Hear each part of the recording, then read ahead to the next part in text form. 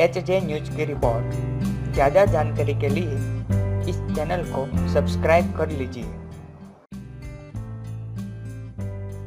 TV serial Kundali Bhagya में सृष्टि का किरदार निभाने वाली एक्ट्रेस अंजुम फाकी इन दिनों गोवा में हॉलिडे एंजॉय कर रही हैं। वे यहाँ अपनी फ्रेंड्स के साथ वेकेशन एंजॉय करने आई हैं।